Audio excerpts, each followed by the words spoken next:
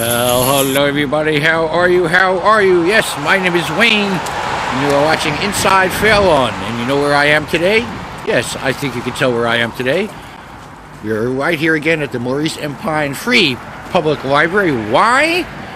Because there's going to be another art happening inside today.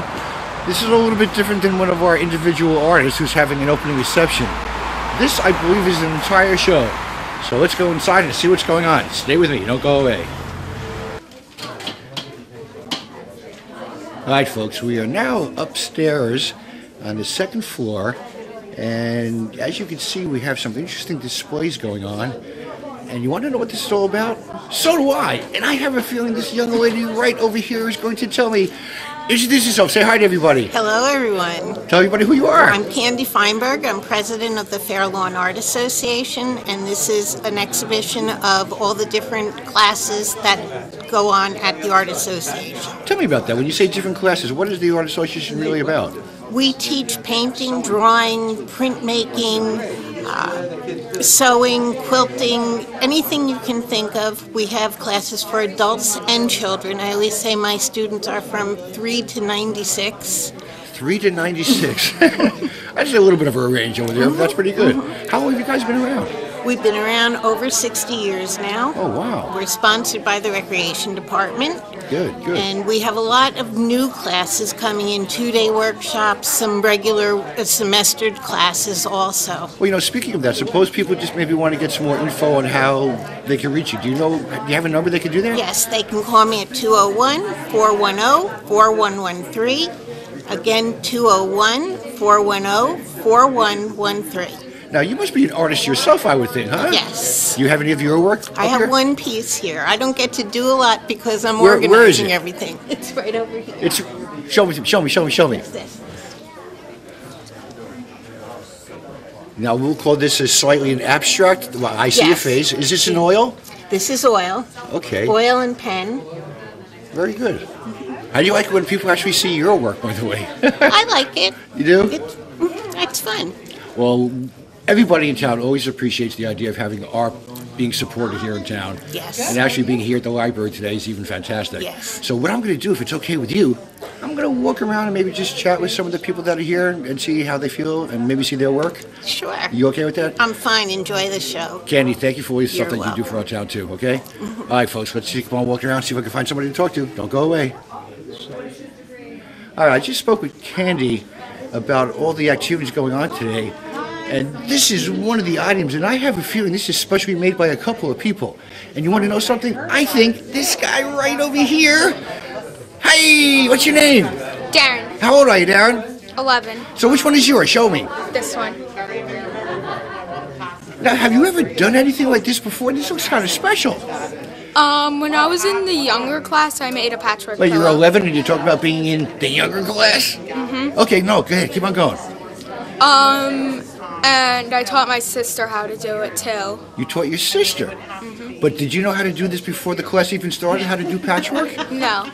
But it looks pretty cool, doesn't it? Mm-hmm. Are you thinking about maybe art in the future for yourself? Uh, Maybe? Yeah. This is so cool. You know, this is something that's really big, and you want to know something? We have all these people that are staring at us all over here, wanting to know what's going on. That's why you and I are talking, because this is a very special show.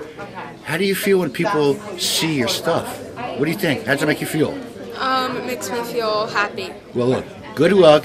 Everything looks really cool, and maybe I'll see you in the future for another show. Okay, Darren? Okay. Okay, folks, stay by. More people to chat with. All right, folks, I think I'm going to keep on walking around and try and talk with some other folks. This looks like a very interesting piece, and I bet you the gentleman standing right next to me is the one who did it, sir. Hi, how are you? I'm fine, thank you. What's your name, please? Uh, my name is Sig Westerman.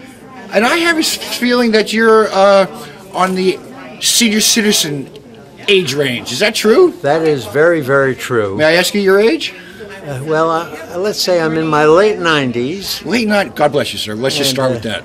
and uh, Tell me about this. well, I, I this is the first painting I ever did.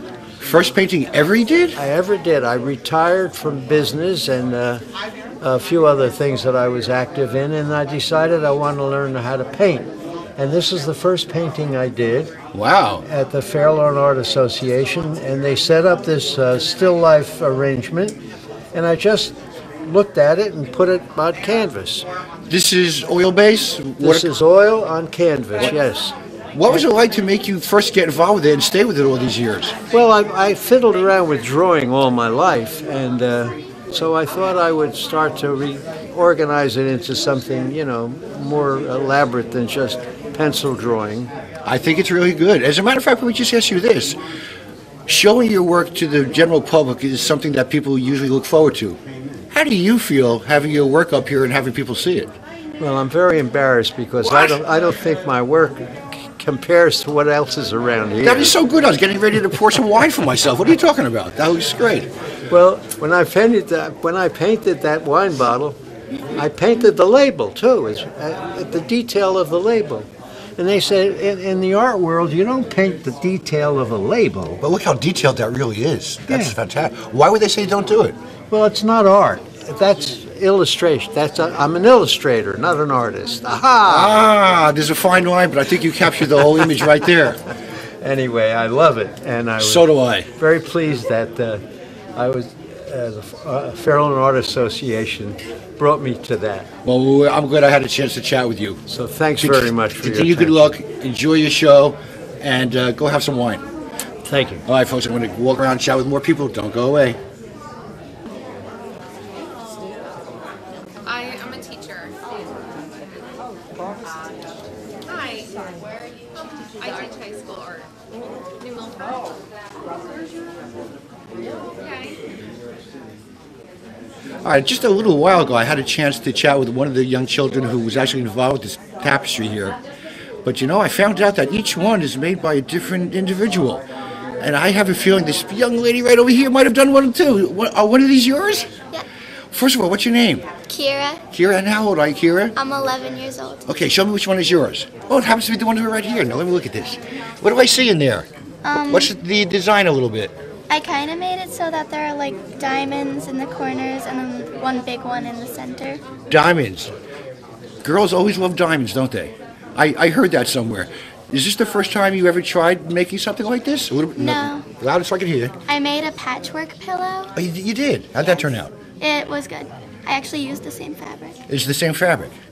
Now, this is part of one whole big thing. How do you feel being part of this big project? Mm, good. Have you been doing this kind of stuff for a little while, or do you want to maybe continue doing it for a little while? I like doing it and I'd continue it. You think art may be in your future? Probably. I think so. How do you feel with some crazy guy with a cowboy hat talking to you? Good. You're okay with that, huh? Well, I think you are too. Congratulations. It's great to have people see your work. Let me ask you about that. How do you feel when people see what you do? Does that make you feel a certain way? It makes me feel good. It does? Yeah. What are you going to do with this? Is this going to be a permanent display, I wonder? I'm not sure. Okay, but if, if not, make sure that you eventually take that home. And I see you have pins there to do this, but this is a great little project. Thank you so much for talking with me, and good luck in the future, okay? Thank you. Okay, folks, I'm going to keep on walking around. Don't go away. All right, I am continuing to walk around a little bit, and I found out something kind of interesting. I spoke to a couple of the kids that were involved with this incredible tapestry here, and I was kind of wondering how this all got put together. And you know who I was suggested I talk to? This person right over here. Say hi to everybody. Hi, my name is Sandra Guevara, and I'm the sewing teacher at the rec center. Ah, I- so this is how you sort of got the kids enabled to do this. Yes. Why did you want to even have this as a project in the first place?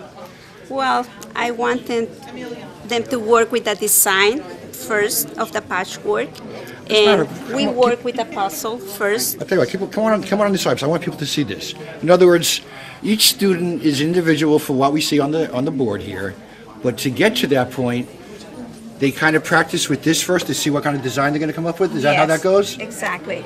In other words, these are cubes that come out and can be matched Yeah, they up. can play with that and to create a pattern.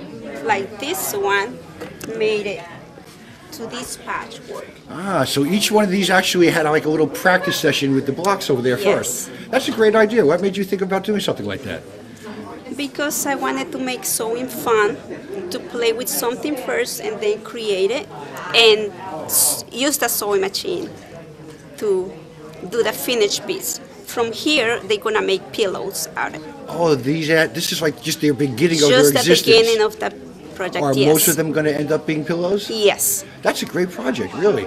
Is sewing a, a, an art form that's maybe having a rebirth? Do you think? Yeah. You hope so, I- being I a sewing teacher. so, I would yeah. think so, right? Yeah. How I long have you been involved with the art association? Well, about five years now. About five years now. I have two classes, uh, beginners class and teenagers class. Well, from what I see up here, I think you did a good job. Because for one of all, it's very artistic and crafty, and the way you did it is very nice. Thank, you for you. chatting with me for a second, okay? Thank you. All right, folks, I'm going to keep on walking around. Stay with me. Don't go away. All right, I'm continuing my journey at this wonderful exhibition, and we were talking about all the different students that are involved. I chatted with one instructor, but I think I have another one right over here. Good afternoon, sir. How are you? Fine, how are you? Very well. First of all, what's your name? My name is Basil Baylin, B A Y L I N. Thank you for spelling it. I appreciate that. And I understand you're an instructor at the. Uh, Yes, I am. I, I, I'm an instructor at the uh, community school, Okay. art school. I teach oil paintings. How long have you been doing that, by I've way? been teaching for years and years and years. Let's just say a couple of years then. Well, huh? let's say a couple of years, okay. Now, I wanted to have you stand first of all in front of your work, and I believe you mentioned to me that this is a oil, It's an oil painting. and this may have been a person that you knew somewhere along the way, something yes. like that. This is a uh, very attractive woman uh, that lives in my building. I wanted to uh, uh, paint uh, not a straight portrait. I didn't want a portrait because a portrait is is uh, stiff. So I wanted a person to do something, and I I finally decided on maybe uh, with carrot card, tarot cards. I know, I understand what you're saying. Yes. It gives a little bit more warmth and feeling to it. Right. Is this some of the things that you maybe find is a little difficult to get across in your teaching? By the way, is it hard to explain to you know, to kids? The, the thing is, uh, it, it, the painting has to be interesting. Number one, you know, and a portrait, unless it's a painting of someone that you know and they, they want the person port, they want the person's portrait. You know, uh, a lot of people just walk right by because it's a straight on, just someone, you know, sitting there and all. But here, she's doing something. You know, she has the cards in front of her. So is that a hard thing to teach? Is what I'm yeah, yeah, it's, it, it makes the painting interesting. Okay. Do you find sometimes that you enjoy just watching your students eventually have a show like this that maybe shows off some of your teachings? Of course, of I think you would too. Yes, I think uh, what, it's one of the things that I think we should always continue to grow and support here in Fairlawn. And the Fairlawn Art Association, including yourselves, is an important part of that so we can continue to have and support art. Thank you for chatting with me. We're going to let people know how long the show is running here and continue good luck with your teachings. thank you very much. And thank you for Appreciate talking with me. Yes. All right, folks, I'm going to go back out on the road to visit more people, so look for me. I'll be coming around your neighborhood real soon. Until we meet again, my name is Wayne Robbins. I'll see you next time inside Fairlawn.